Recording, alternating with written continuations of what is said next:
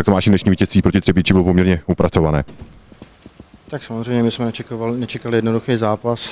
Vlastně soupeř jsem přijeli většinou bránit, takže my si musíme do nich tlačit, a, což samozřejmě na tom malém příště je daleko složitější. A já myslím, že, že jsme ukázali dneska eh, bojovnost a že jsme nakonec to vítězství urvali a, a jsme za to samozřejmě šťastní, protože eh, ty zápasy teď poslední dobou nebyly vůbec jednoduchý a, a jsem rád, že jsme to jako mužstvo zvládli. Poslední době většinou eh, se nám stává, že vlastně zpočátku prohráváme, potom musíme dohánět. Minule se to nepovedlo, dneska se to povedlo. Věřili jste tomu, když jsme dostali docela brzo první gol?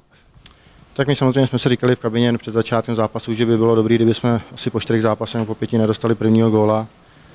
Samozřejmě jsme ho zase dostali, ale dneska bylo vidět, že to mužstvo chce.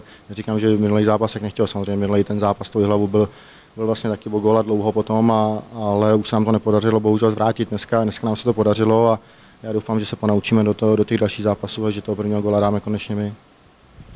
V ostatní výsledky nám poměrně nahráli a jsme druzí, tak co na to říkáš? Tak samozřejmě, já se teď dozvívám o tebe poprvé, takže samozřejmě jsme za to rádi a vlastně o to nám jde celou dobu a, já doufám, že to, že to druhé místo uhájíme.